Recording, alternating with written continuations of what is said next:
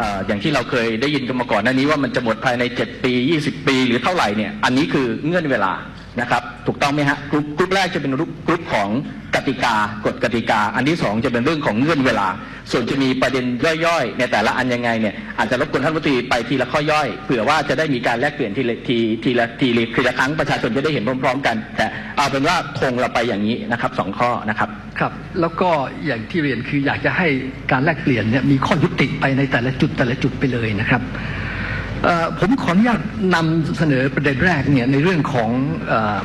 อประกาศกระทรวงพลังงานนะฮะที่ได้มีการแก้ไขโดยรัฐมนตรีพลังงานวันที่ 4 กุมภาพันธ์ก่อน อันเนี้ยเป็นครั้งแรกนะครับนะฮะที่ประกาศกระทรวงพลังงานนั้นมีพูดถึงว่ารัฐอาจจะมีนโยบายนำระบบแบ่งปันผลผลิตนะครับหรือระบบบริหารจัดการอื่นมาใช้ เพราะฉะนั้นอันนี้ผมว่าอันนี้มันเป็นการแสดงให้เห็นนะครับ และเป็นการยอมรับที่ชัดเจน ว่าทางราชการนั้นเนี่ยเห็นว่ามีวิธีการทางเลือกอื่น ซึ่งจะเป็นประโยชน์กับประเทศอยู่ด้วยนี่ปัญหาคืออย่างนี้ครับว่า ในประกาศตรงนี้เนี่ยเขียนไว้อย่างนี้ว่าการดำเนินการเท่าที่ผมเข้าใจก็คือจะเดินหน้าในรูปแบบของสัมปทานไปก่อนนะครับ โดยรัฐบาลเนี่ยเขียนไว้ว่ารัฐบาลอาจจะใช้สิทธิ์แจ้งนะครับ ผู้ที่ได้รับสัมปทานนั้นเนี่ยเพื่อมาเจรจาตกลงยินยอมเปลี่ยนแปลงหลักเกณฑ์อะไรกันภายหลังก็ได้นะครับ โดยทั้งสองฝ่ายเนี่ยจะต้องเจรจาให้บรรลุข้อตกลงอย่างเป็นธรรมสอดคล้องกับสัญญาที่มีอยู่ระหว่างกันนะครับ ภายใต้หลักเกณฑ์วิธีการและเงื่อนไขของกฎหมายที่จะกำหนดต่อไป ปัญหาคือนี้ครับท่านในการที่จะนำระบบแบ่งปันผลผลิตมาใช้นั้นเนี่ยนะครับขบวนการในการคัดเลือกผู้ชนะเนี่ยระบบแบ่งปันผลผลิตนั้นเนี่ยในแง่ของธรรมาภิบาลเนี่ยมันเกิดขึ้นอัตโนมัติโดยวิธีการแข่งขัน โดยมีการประมูลแข่งขันกัน รายที่แบ่งสัดส่วนผลผลิตให้กับรัฐสูงสุด ได้อัตโนมัติเลยนะครับ แต่ว่าไอการประมูลแข่งขันต้องทำก่อนครับ ก่อนที่จะได้ผู้ชนะนะครับเเพราะฉะนั้นเนี่ยการที่ทางกระทรวงพลังงานได้ไปกำหนดประกาศอย่างนี้นี่ผมผมเกรงว่าจะมีปัญหา อันนี้ผมขอเรียนเสนอเพราะก็ก็มองในแง่ที่ว่ากลัวจะมีปัญหากับทางพวกทางข้าราชการ คืออปปัญหาแรกคืออย่างนี้ครับว่าไอการพิจารณาในชั้นสัมปทานนั้นเนี่ย มันไม่ได้มีการพูดคุยกันว่า เออคุณถ้าเกิดเปลี่ยนไปเป็น ถ้าเกิดเปลี่ยนไปเป็นระบบแบ่งปันผลผลิตแล้วเนี่ยคุณจะแบ่งรัฐกี่เปอร์เซ็นต์นะครับ ไม่ได้มีการพูดอย่างนั้น เพราะฉะนั้นเนี่ยไอ้มาพูดทีหลังเนี่ยมันก็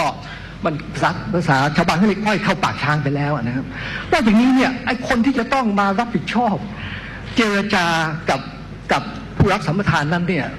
ไม่ใช่ไม่ใช่รัฐมนตรีปัจจุบัน ไม่ใช่รัฐบาลปัจจุบันมันจะเป็นรัฐบาลอนาคต นะฮะซึ่งมาจากการเลือกตั้งนี่ปัญหาอยู่นี้ครับว่า เวลารัฐบาลในอนาคตเนี่ยจะเจรจาเนี่ยแทนที่จะเป็นกระบวนการปกติคือเปิดให้มีการประมูลแข่งขันกันกลายเป็นว่าเขาก็ต้องเจรจากับผู้รับสัมปทานที่เขาถือสัมปทานอยู่ในมือเนี่ยแค่รายเดียวแค่อย่างนี้เขาเรียกปิดประตูตีแมว คือเอเขาจะยอมแบ่งผลผลิตให้กับรัฐแค่ไหนอย่างไรมันก็ขึ้นอยู่กับมิตรจิตมิตรใจของเขานะครับ ท่านคงเข้าใจเหมือนกันนะครับว่าในแง่ของเนื้อหาสัญญาสัมปทานเท่าที่ผ่านมาเนี่ยเท่าที่ผมตรวจเช็คดูเนี่ยเวลามีข้อถกเถียงกันเนี่ยกระบวนการอนุโยตุลาอนุญาโตตุลาการนั้นเนี่ยก็ไปทำกันต่างประเทศนะครับ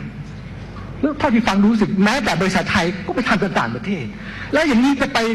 ขบวนการในการที่จะไปบีบบังคับ หรือจะไป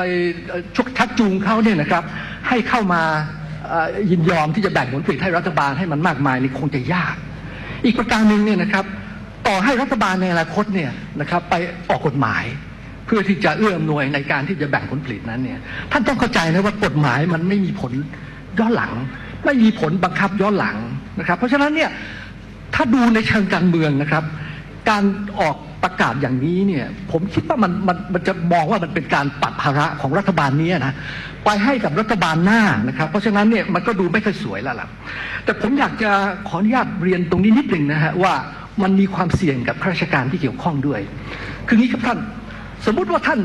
มอบสัมปทานไปให้กับบริษัทหนึ่งนะครับนะฮะแล้วผลประโยชน์ในวันนี้นะครับออกมาสมมุติว่าเป็น 60%แล้วอีกสี่ปีข้างหน้าเนี่ยสมมุติว่ามีการ ขบวนการแบ่งปันผลผลิต แล้วประมูลกันนะฮะแปลงอื่นไม่ใช่สามแปลงนี้นะแปลงอื่นประมูลกันแล้วออกมาปรากฏว่าได้เจ็ดสิบเปอร์เซ็นต์เนี่ยท่านจะถูกคลอแบ็กนะครับคือท่านจะท่านจะต้องอธิบายว่า เอ๊ะทำไมในวันนี้ท่านถึงยอมนะครับให้ประเทศได้รับผลประโยชน์แค่ 60%แล้วไม่จัดกระบวนการทั้งทุกอย่างให้เรียบร้อย เพื่อจะให้ประเทศได้ประโยชน์ 70%เหมือนอย่างที่ว่าเพราะที่ท่านต้องอย่าลืมว่า ไอ้60 70ไอ้ส่วนต่างตรงนี้เนี่ยมันเป็นเงินเยอะมาก เพราะว่ามูลค่านะครับของสัมปทานพลังงานนี้มันเป็นเงินจำนวนมหาศาล แต่ที่สำคัญคือผลประโยชน์ที่กำลังจะพูดถึงนี่คูณทุกปีตลอดอายุสัมปทานนะครับ อันนี้หารยาวเนี่ยจะเป็นเงินจำนวนมากทีเดียวเพราะฉะนั้นผมเองในฐานะประชาชนเนี่ยนะครับอยากเรียนเลยว่าประชาชนมีข้อกังวลว่า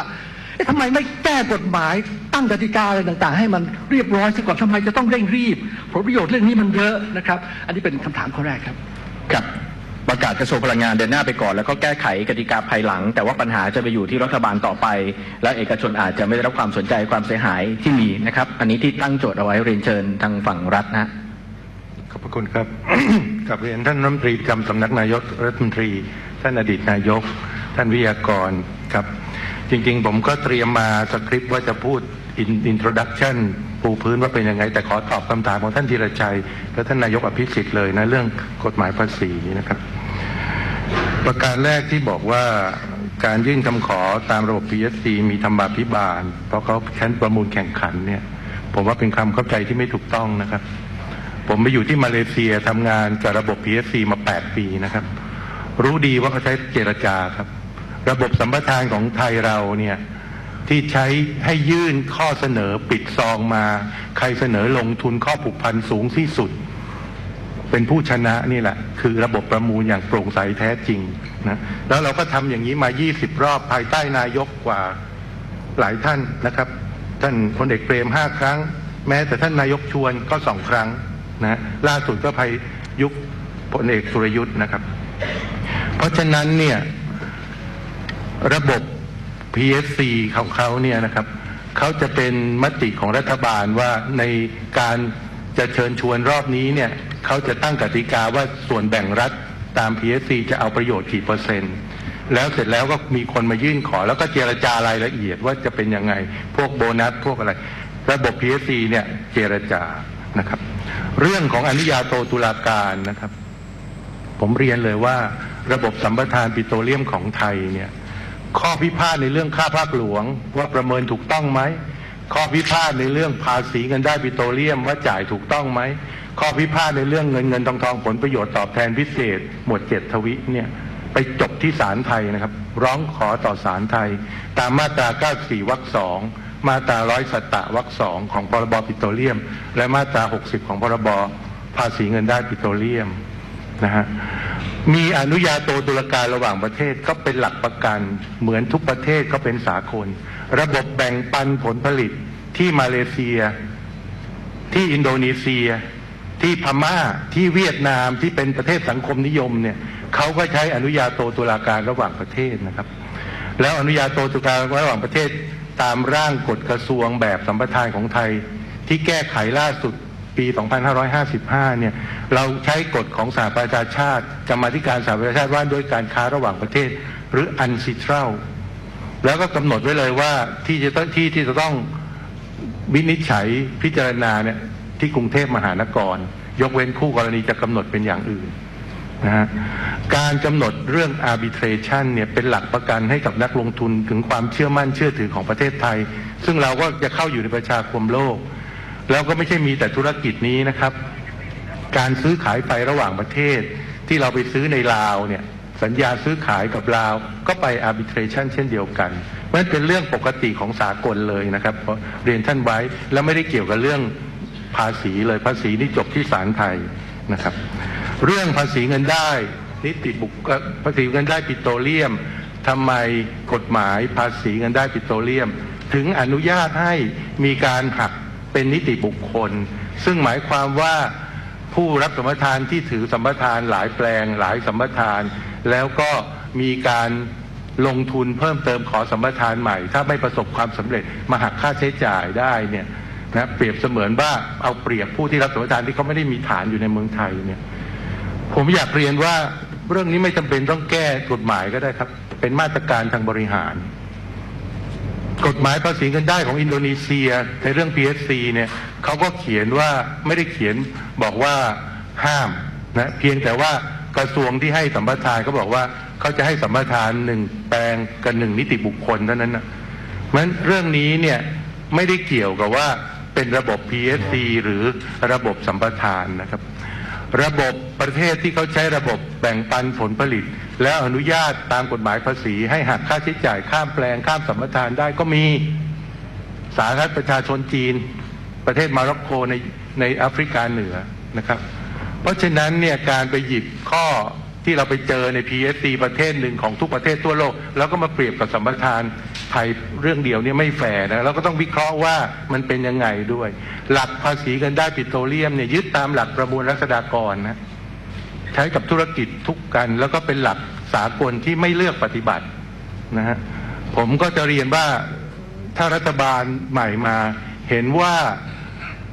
ไม่ควรให้ผู้รับสมปทานรายใหญ่รายเดิมที่เขาลงทุนอยู่ในประเทศ แล้วพร้อมจะลงทุนเพิ่มเติมเนี่ยมีสิทธิ์ที่จะมาหักค่าใช้จ่ายได้ ก็ตั้งเงื่อนไขในการประกาศสมปทานว่าคุณต้องตั้งนิติบุคคลใหม่ มาขอสมปทาน ไม่จำเป็นต้องแก้กฎหมาย นะครับและอันนี้ไม่ไม่เกี่ยวกับระบบ PSC หรือระบบสัมปทานด้วย มันอยู่ที่การออกแบบในการบริหารนะครับอันนี้ ผมขอย้อนกลับมาสิ่งที่ผมเตรียมจะมาพูดนะครับว่า ท่านนายกรัฐมนตรีท่านอดีตนายกรัฐมนตรีพูดถึงความมั่นคงด้านพลังงานนะผมก็อยากจะเรียนว่าในมุมมองของผมเองนะครับ ความมั่นคงด้านพลังงาน คือการจัดหาพลังงานให้มีพร้อมใช้อย่างเพียงพอต่อเนื่องและทั่วถึง ในราคาที่เป็นธรรม รัฐมีหน้าที่ต้องสร้างให้เกิดความมั่นคงทางพลังงาน โดยกำกับดูแลบริหารจัดการพลังงานอย่างมีธรรมาภิบาลและยั่งยืน ความมั่นคงทางพลังงานวินัยหมายความว่ารัฐจะต้องเข้าไปประกอบกิจการพลังงานในทุกเรื่องด้วยตนเอง กิจการอะไรที่เอกชนทำได้ในระบบเศรษฐกิจเสรี รัฐก็ไม่ควรเข้าไปทำเอง แต่กำกับดูแลให้เกิดประสิทธิภาพ และเป็นธรรมต่อทั้งผู้ผลิตและผู้บริโภค รัฐธรรมนูญในอดีต รวมทั้งรัฐธรรมนูญที่กำลังร่างปัจจุบันผมก็คิดว่าจะมีแนวนโยบายพื้นฐานในทำนองนี้นะครับ ผมขอยกรัฐธรรมนูญมาตรา 84 วรรคหนึ่งวงเล็บหนึ่งของปี 50 นะครับ ก็กำหนดไว้ว่า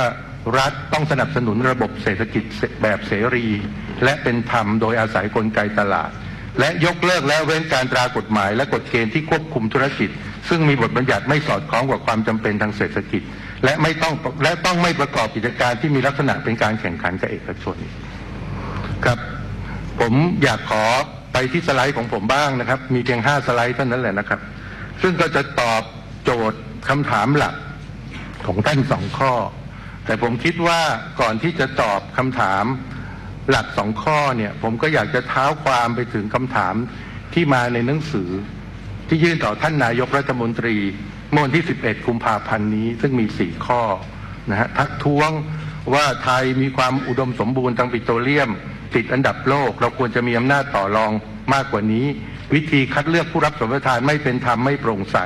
เงื่อนไขการคลังภาษีมีจุดอ่อนหลายประเด็นซึ่งได้พูดไปแล้วนะครับ และในเรื่องกรรมสิทธิ์ของปิโตรเลียมที่จะได้มาภายใต้สัมปทาน แล้วก็เรื่องข้อมูล การจะตอบคำถามที่ผมคิดว่าก็มีเหตุผลนะครับ เต็มเต็มไปด้วยความห่วงใยเนี่ยมันก็ต้องใช้เวลาตอบเหมือนกันนะครับ ขอไปที่สไลด์แรกนะครับ เหตุผลที่เราจำเป็นต้องเปิดให้สัมปทานนะฮะก็สั้น ๆเลย ปัจจุบันเรานำเข้าพลังงานทุกประเภทนะฮะเมื่อก่อนเราก็นำเข้าแต่น้ำมันเมื่อ 15 ปีก่อน ตอนนี้เรานำเข้าถ่านหิน ตอนนี้เรานำเข้าก๊าซนะจากที่ไม่ไม่ต้องเคยนำเข้าก๊าซเนี่ยก็นำเข้าเกิน 20%แล้วนะครับ และปริมาณสำรองก๊าซธรรมชาติเนี่ยก๊าซธรรมชาติมีความสำคัญต่อเศรษฐกิจ เพราะมันเป็นต้นทางของภาคต่างๆ ไม่ว่าจะภาคไฟฟ้า ภาคอุตสาหกรรม ภาคผลิต LPG ภาคปิโตรเคมี ภาคเชื้อเพลิงเพื่อการขนส่งนะครับก๊าซธรรมชาติที่เรามีปริมาณสำรองตามหลักวิชาการเนี่ยนะฮะเขาก็เรียกกันว่า proven reserve หรือ P1 นะซึ่งมั่นใจมากที่สุด แล้วก็ถ้ามั่นใจ 50%เขาเรียกว่า P2 นะฮะถ้าเราเป็นนักวางแผนเรามีมองโลกในแง่ดีเอาตัวเลขสองตัว P1 P2 มาบวกกันเนี่ยหารด้วยอัตราที่เราผลิตในประเทศเนี่ย มันก็จะพบว่าเราเหลือไม่ถึง 13 ปีแล้ว ตัวเลขนี้เมื่อผมเตรียมการเมื่อ 4 ปีก่อนเนี่ยมันอยู่ที่ 17 18 ปีนะ แต่เราใช้ก๊าซทุกวันนี้เนี่ยปีละ 1.8 ล้านล้านลูกบาทฟุต เราผลิตจากแหล่งที่หามาได้ในประเทศปีละ 1.3 ล้านล้านลูกบาทฟุต แต่ท่านทราบไหมครับ ในช่วง 8 ปีนับจากการเปิดสัมปทานรอบที่ 20 เป็นต้นมาเนี่ยเราหาเจอเพียงแค่ 50,000 ล้านลูกบาทฟุตในหนึ่งแปลงเท่านั้นนั้นความเสี่ยงมันมีนะครับ ทีนี้ตัวเลขในการพัฒนาเนี่ยนะครับถ้าบริษัทจะไปลงทุนพัฒนาจะไปกู้แบงก์เนี่ยเขาจะเอาตัวเลข proven reserve นะฮะ ตัวเลขนี้ก็เช่นเดียวกัน ลดจาก 10 ปี เหลือ 9 ปี เหลือ 7 ปีนะปีนี้ก็คงจะ 6 ปีนะครับ ถามว่าประเทศเสี่ยงไหมเสี่ยงนะครับ เราเข้าอยู่ในวิกฤตของพลังงานแล้วก๊าซธรรมชาติยังไงก็ตามสีฟ้าฟ้าที่ดูในจอผลิตในประเทศราคามันถูกกับก๊าซที่นำเข้าจากต่างประเทศก๊าซจากพม่าเขาก็เปิดประเทศพัฒนาเศรษฐกิจเขาคงไม่ขายเรามากกว่านี้มีแต่จะลดน้อยลง และธรรมชาติของแหล่งก๊าซเนี่ยมันเป็นทรัพยากรที่หามาแล้วหมดไปนะเมื่อผลิตมันก็ลดลงลดลงเป็นเป็นหนมชั้นแบบในจอเนี่ยนะครับ แล้วก๊าซที่เราต้องนำเข้าเป็น L LNG นั้นเนี่ยสีเหลืองเนี่ยนะครับ จากที่ไม่ต้องนำเข้าเลยในปี 54 เนี่ย ปี 55นำเข้าล้านตันต่อปีปี 56 2 ล้านตันปีที่แล้วก็ 2 ล้านตันกว่า มูลค่าเฉพาะ 2 ล้านตันเนี่ย 34,000 ล้านบาทต่อปีนะ แล้วท่านคิดดูว่าถ้าก๊าซในประเทศซึ่งราคาถูกกว่าหายไป แล้วเรานำเข้าก๊าซต่างประเทศซึ่งราคาแพงกว่ามากขึ้นเรื่อยๆเนี่ยก๊าซธรรมชาติเนี่ย50%ไปทำไฟฟ้า ไฟฟ้าของประเทศ67%มาจากก๊าซธรรมชาติเนี่ยเพียงหนึ่งในสามของก๊าซธรรมชาติที่หายไป แทนด้วยก๊าซ LNG ที่มาจากต่างประเทศเนี่ยค่าไฟมันก็ขึ้นอย่างน้อย 30-40%ภายใน 10 ปีข้างหน้าแล้วนะครับ แต่ที่หนักขึ้นไปอีกก็คือว่า จากโครงสร้างพื้นฐานที่เรามีที่ปตทกำลังสร้างอยู่นะฮะอย่างมากเราก็มีความสามารถจะนำเข้าก๊าซ LNG ได้แค่ 10 ล้านตันต่อปี 10 ล้านตันต่อปีก็เท่ากับประมาณพันสี่ร้อยล้านลูกบาทฟุตต่อวันนะฮะสีขาวๆในจอนี้ก็คือว่าภายในปี2561เนี่ยเรายังไม่รู้จะนำก๊าซที่ไหนมาทดแทนความต้องการที่คาดการณ์อย่าง ค่อนข้างอนุรักษ์แล้วนะฮะว่ามันจะเพิ่มแค่นี้นะครับ แต่ถ้ามันไม่มีก็คือมันความต้องการก็ไม่สามารถจะเพิ่มขึ้นไปได้ หรือถ้าจะเพิ่มขึ้นไปได้ เราก็ต้องหามาแทนในราคาที่แน่นอนจะต้องสูงขึ้นนะครับ ขอถัดไปสองสไลด์เลยครับ นี่เป็นผลการสำรวจจากเกิดปานเปิดสัมปทาน 20 รอบที่ผ่านมาเป็นสไลด์ล่างๆนะจะเห็นว่าแหล่งก๊าซแหล่งน้ำมันที่เราผลิตส่วนใหญ่เนี่ย มันพบจากการประกาศรอบแรกครับ นะรอบที่ผ่านมาก็อาจจะมีรอบที่ 13 กับรอบที่ 18 ที่เจอบ้าง เพราะฉะนั้นเนี่ยการเปิดสิทธิสำรวจรอบที่ 21 ชื่อมันก็บอกอยู่แล้วว่า เปิดมาแล้ว 20 รอบ พื้นที่ก็คือพื้นที่เดิมๆที่คนหาไม่เจอเนี่ยคืนมากรมเชื้อเพลิงธรรมชาตินักธรณีวิทยาวิศวะของเราก็มาศึกษาข้อมูลแล้วก็ประเมินว่า มันก็ยังมีโอกาส เพราะในในอดีตพื้นที่คนหาไม่เจอคืนมารายใหม่เขามีมุมมองเทคโนโลยีใหม่ พร้อมจะลงทุนก็หาเจอขึ้นมาได้ แหล่งเล็กแหล่งน้อย มีในประเทศดีกว่าไปหาแหล่งจากต่างประเทศนะครับ เพราะฉะนั้นนี่จึงเป็นเหตุผลนะฮะและกฎหมายปิโตรเลียมที่ท่านบอกว่าใช้มา 40 ปี ไม่ได้แก้ไขนั้นก็ไม่ถูกต้องนะฮะมีการทบทวนแก้ไขมาเป็นฉบับที่ 6 แล้ว ฉบับที่ 6 แก้ไขในปี 2550 นะครับ เราได้จ้างคณะนิติศาสตร์จุฬาลงกรณ์มหาวิทยาลัยมาช่วยกันศึกษาทบทวน เขาก็เห็นว่าระบบที่เราแก้ไขไว้ ที่เรียกว่าระบบไทยแลนด์3เนี่ยมันมีความเหมาะสม มีความเหมาะสมที่ว่าเรียกเก็บผลประโยชน์เข้ารัฐอย่างพร้อมมีเหตุผลพอสมควรนะครับ องค์ประกอบของรายได้เข้ารัฐตามระบบนี้เนี่ยมีอยู่สามส่วนนะไม่ใช่มีอยู่ส่วนเดียวนะฮะคือมีค่าภาคหลวงเก็บจากยอดการขายรายได้ ภาษีเงินได้ปิโตรเลียม เก็บจากกำไรสุทธิ แล้วก็ผลประโยชน์ตอบแทนพิเศษ ซึ่งผมอยากจะเรียกว่าภาษีทรัพย์กำไรหรือ windfall profit tax เก็บจากกำไรส่วนเกิน ในกรณีที่พบแหล่งใหญ่ หรือกรณีที่ราคาน้ำมันขึ้นอย่างไม่มีเหตุผลนะครับ ผมขอเรียนว่าขอไปหน้าต่อไปนะครับ มีผู้มาชี้แจงในกรรมธิการปฏิรูปพลังงานนะฮะก็บอกว่ายกตัวอย่างว่า เราเก็บภาษี50%เปอร์เซ็นเนี่ยมันมันเป็นภาษีคงที่ เพราะฉะนั้นถ้าเกิดพบแหล่งใหญ่รายได้เขามากเนี่ยมันเป็นการเก็บแบบถดถอยหรือ regressive ผมว่าเราต้องดูให้หมดทั้งภาพรวมนะครับ องค์ประกอบของรายได้เข้ารัฐมี3ส่วน ค่าภาคหลวงจอซ้ายบนเนี่ยนะครับ เป็นอัตราแบบก้าวหน้านะครับ เป็นอัตราก้าวหน้าแล้วก็จำกัดเป็นแปลงสำรวจ คือริงเฟ้นเป็นแปลงสำรวจ นะครับ พบน้อยก็เก็บน้อย แหล่งเล็กพันสองพันบาเรลก็เก็บเก็บ5%ส่วนที่เกิน2,000บาเรลต่อวัน แต่ไม่เกินอ่า5,000บาเรลก็เก็บ6.25%ก็เหมือนอัตราภาษีบุคคลธรรมดาที่เราเสียอยู่ครับ ไม่มีหรอกครับที่ผู้รับสมรทานโดยธรรมชาติของธุรกิจจะลดการผลิตเพราะกลัวจะเสียค่าภาคหลวงน้อยนะเพราะเขามีเงื่อนเวลาในการผลิตอยู่ 20 ปี ถ้าเขาไม่ผลิตภายในเวลานั้นเขาก็หมดสิทธิ์ นะฮะถ้าพูดอย่างนี้ก็หมายว่าเราไม่อยากมีรายได้มาก เพราะเราไม่อยากอยู่ไม่อยากอยู่ในแบรกเก็ตของภาษีที่สูงนะครับขณะเดียวกันผลประโยชน์ตอบแทนพิเศษที่เป็น win for profit tax ก็เป็นอัตราก้าวหน้า มีสูตรที่เราคิดมาอย่างรอบคอบแล้วนะฮะถ้าท่านเป็นนักคณิตศาสตร์เอาสามอันมาบวกกันเนี่ยสองอันเป็นอัตราก้าวหน้า อีกอันเป็นอัตราคงที่เนี่ย มันจะก้าวหน้าหรือเปล่าครับ แล้วผมขอเรียนนะครับ ระบบแบ่งปันผลผลิตของมาเลเซียก็ดีอินโดนีเซีย อัตราภาษีเขาก็คงที่นะครับ เวลาพูดต้องบวกให้เห็นทั้งหมดนะครับ ถัดไปครับ นี่ครับ อันนี้ก็เป็นให้ดูนะครับ ว่าราคาก๊าซธรรมชาติปีที่แล้วเนี่ย ในอ่าวไทยเฉลี่ยเนี่ยก็ถูกกว่าสีน้ำเงินนะนำเข้าจากพม่า สีส้ม สีเขียวคือค่าเฉลี่ยของการนำเข้า LNG ครับทางสไลด์สุดท้ายในช่วงนี้นะครับ ก็ชี้ให้ดูว่า ประเทศของเราเนี่ยพึ่งพาก๊าซธรรมชาตินะ65-66เปอร์เซ็นของไฟฟ้าเรามาจากก๊าซธรรมชาติ พลังงานทดแทนที่เราส่งเสริมอย่างเต็มที่เนี่ย มันก็มีข้อจำกัด เราสร้างเขื่อนในประเทศไม่ได้แล้วนะฮะ เราก็ต้องไปซื้อไฟฟ้าจากลาวนะครับ พลัง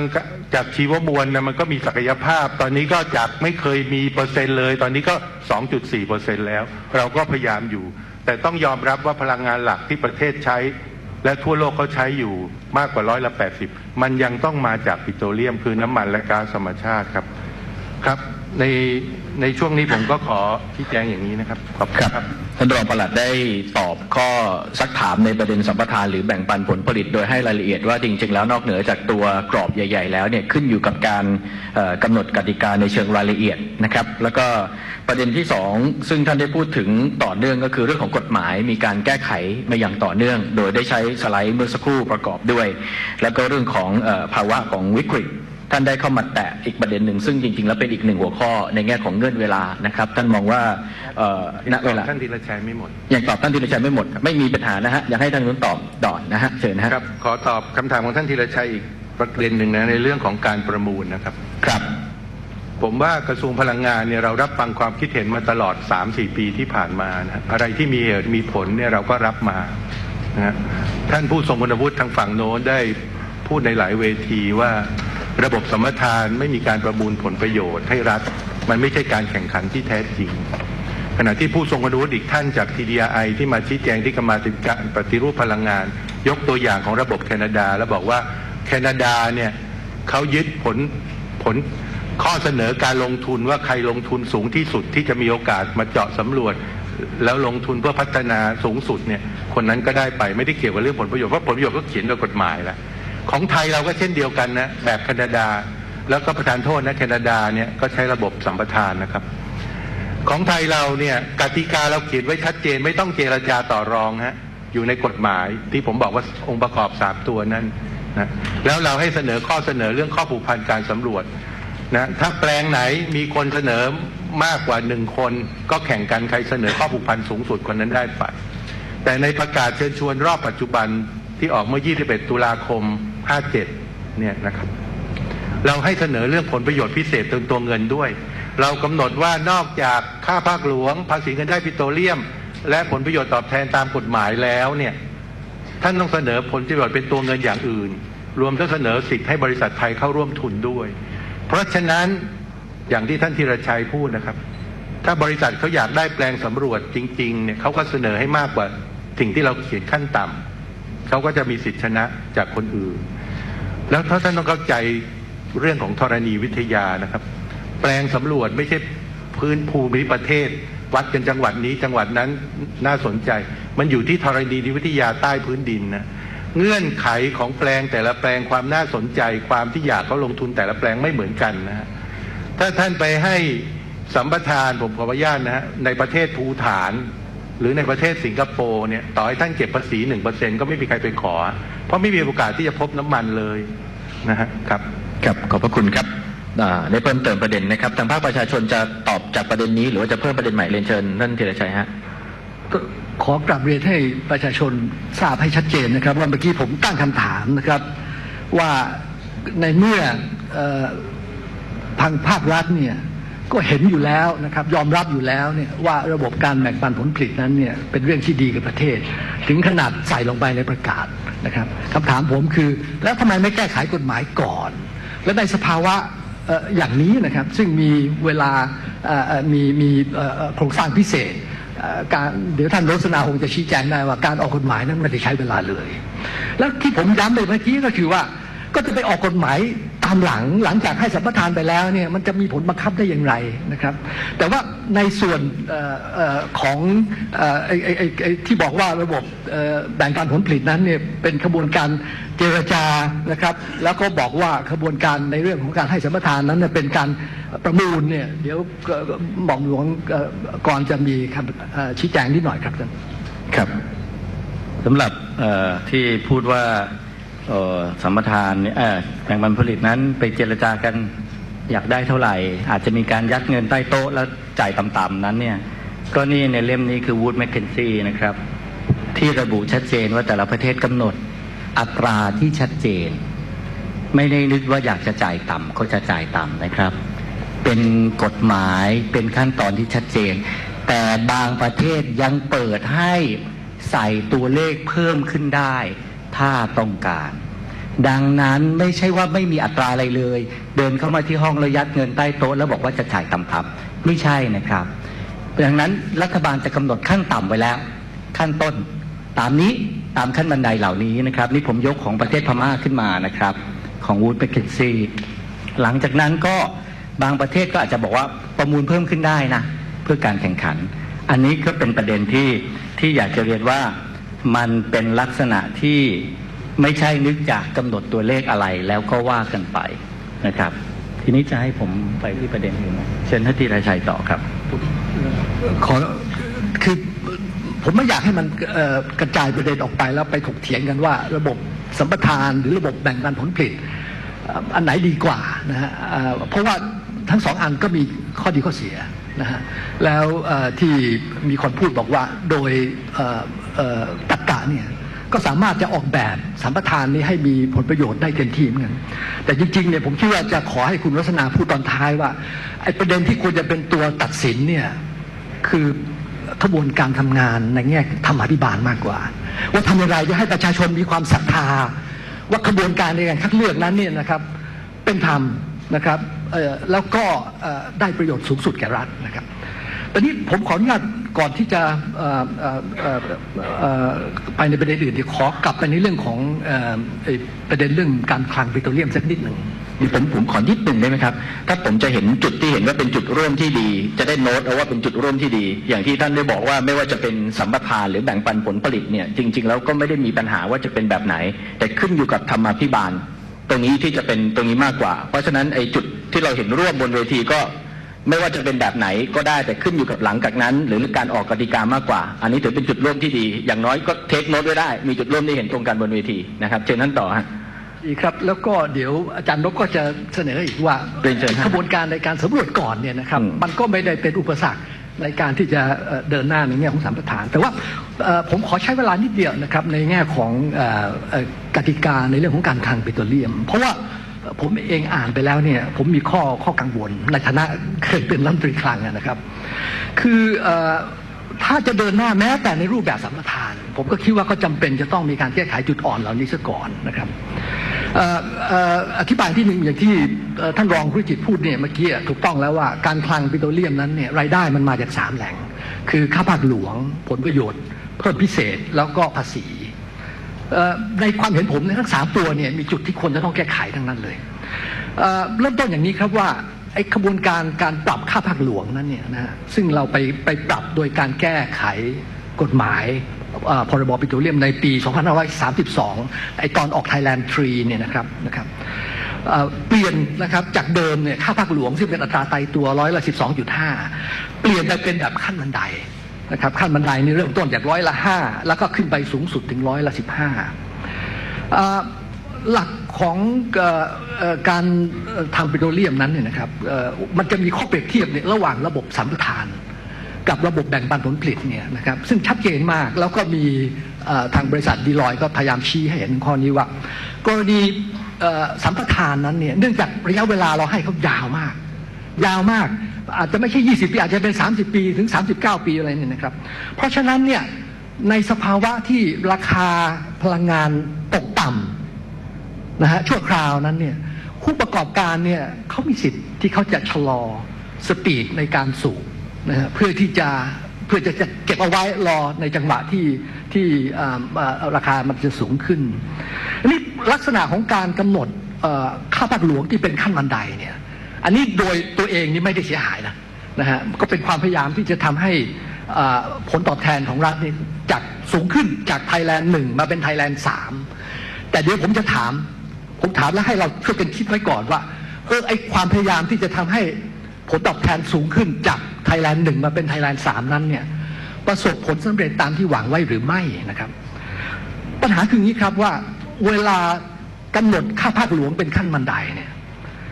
จุดอ่อนก็คือว่ามันอยู่ในการควบคุมของของธุรกิจ เขาจะเลือกยืนแช่ตรงบันไดขั้นนั้นนะครับ หรือว่าจะก้าวขึ้นไป แล้วดูดูตัวกฎหมายที่เขียนไว้เนี่ย แม้แต่ก้าวขึ้นไปแล้วเนี่ยยังถอยกลับลงมาได้นะครับถอยกลับมากี่ขั้นก็ยังได้ด้วยซ้ำเพราะฉะนั้นเนี่ยในส่วนนี้นะครับ ในแง่ของประชาชนเนี่ยนะฮะผมว่าโดยทั่วไปแล้วประชาชนก็จะมีข้อกังวลนะฮะว่าเอ๊ะ ก็ถ้าหากว่าไอ้กติกานี้ไปผูกโยงกับสิ่งที่ภาคธุรกิจเนี่ยสามารถที่จะควบคุมได้เนี่ยมันน่าจะแก้ไขก่อนหรือไม่ ที่ผมดูนี่คืออย่างนี้ว่าบางประเทศเนี่ยนะครับเขาเพิ่มในกฎหมายให้รัฐมีอำนาจในการที่จะบังคับนะฮะเอกชนเนี่ยนะครับในการที่จะในการที่จะผลักดันปริมาณอะไรบางอย่าง อาจจะต้องไปไปเติมตรงนั้น ผมผมคิดว่าข้อนี้ก็เป็นข้อที่ถ้าหากว่าท่านไม่แก้ไขกฎหมายซะก่อนเนี่ย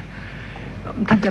ท่านจะอธิบายประชาชนยังไงว่าว่าไม่ต้องห่วงนะนะฮะว่าไอ้ปัจจัยที่อยู่ในมือของเอกชนนั้นเนี่ยไม่ต้องกังวล เพราะว่ามันลักษณะไม่ไม่ไม่ต่างอะไรกับท่อน้ำนะฮะที่เอาน้ำมาให้ประชาชนใช้แต่บังเอิญคนคุมก๊อกนี่เป็นเท่าแก่และส่วนที่สองครับท่านในเรื่องของไอ้ไอ้เอ่อเอ่อผลประโยชน์พิเศษเนี่ยนะฮะมาตราร้อยชอชิงนั้นเนี่ยนะครับเอ่อไปผูกโยง ความลึกของท่อครับอันที่ตอนออกแบบอันนั้นผมก็ไม่แน่ใจว่าทางมหาวิทยาลัยเขาเป็นคนแนะนำหรือเปล่าแต่ว่าผมเองก็พยายามไปหาว่าประเทศไหนนะฮะที่บอกว่าขบวนการผลประโยชน์พิเศษเนี่ยผูกพันกับท่อที่มันอยู่ใต้ดินเนี่ยบ้างเนี่ยรู้สึกว่าน่าจะมีน้อยนะครับคือมันเป็นปัจจัยซึ่งผมคิดว่ามีความรู้สึกว่าตรวจสอบยาก โดยองค์กรภายนอกไม่ว่าจะเป็น สตองอนะครับ หรือจะเป็นกรรมธิการหรือจะใครก็ตามเนี่ยนะครับ นี่ปัญหาคืออย่างนี้ครับว่าในเมื่อกำหนดตามความลึกของท่อนะฮะแต่ไม่ได้กำหนดขนาดท่ออันนี้โดยตรรกกะของประชาชนเขาก็จะกังวลอีกแหละว่าไอ้ถ้าบอกว่าอัตราไหลเท่ากันเนี่ยนะครับถ้าใช้ท่อใหญ่มันก็ลึกหนึ่งเมตร แต่ถ้าเอาท่อเล็กลงไปเหลือครึ่งก็มันก็กลายเป็นสองสองท่อก็เป็นความลึกที่อาจจะเอามาหารนี่ก็เป็นสองเมตร อย่างนี้เป็นต้นนะครับ นอกจากนี้เนี่ยมาตราร้อยชอชิงวงเล็บคอควายเนี่ยยังกำหนดอีกนะครับว่า ไอ้ตรงเนี้ยนะครับให้รวมความลึกของหลุมเจาะที่ผู้รับสัมปทานได้เจาะ แม้ว่าจะไม่มีการผลิตปิโตรเลียมจากหลุมดังกล่าวก็หมายความว่าเจาะไปแล้วนี่ไม่เจอนี่ก็ยังเอาความลึกท่อมาหารได้ด้วย หรือเปล่า อันนี้ผมสงสัยนะครับ เพราะฉะนั้นเนี่ยผมก็ไปดูประเทศอื่นเนี่ยคือคือหลักกติกาเนี่ยในการที่จะขอให้ ภาคเอกชนเนี่ยให้ประโยชน์รัฐเพิ่มขึ้น อันนี้เป็นหลักที่ผมว่าเป็นธรรมมากเลย แต่ประเทศอื่นเขาไปโยงกับปัจจัยที่เอกชนเอื้อมไม่ถึงครับ ส่วนใหญ่คือโยงกับราคาน้ำมันโลก ราคาตลาดโลกนะครับไอ้ที่มาโยงกับท่อนี่ผมยังหาไม่เคยเจอนะครับอันนั้นค่อนข้างจะยากแล้วนี่ถามกลับไปอีกว่าไอ้ความพยายามที่ไปปรับไอ้กฎกติกาเนี่ยสำหรับไทยแลนด์หนึ่งแล้วขึ้นมาเป็นไทยแลนด์สามโดยหวังว่ามันจะได้ ประโยชน์เพิ่มขึ้นนะครับ หรือไม่เนี่ยผมไปไปเจอข้อศึกษาของผู้ช่วยศาสตราจารย์ ดรภูรีศิรสุนทร ซึ่งเป็นจากคณะเศรษฐศาสตร์มหาวิทยาลัยธรรมศาสตร์ ได้รับทุนสนับสนุนนะจากแผนงานเสริมนโยบายสาธารณะที่ดีนะครับมหาวิทยาลัยเชียงใหม่ ท่านบอกอย่างนี้ครับ ท่านคำนวณแล้วเนี่ยนะฮะท่านคำนวณแล้วผลตอบแทนสัดส่วนของรัฐที่ได้ในไทยแลนด์หนึ่งเนี่ยนะครับ 65.6 65.6 นะครับแล้ว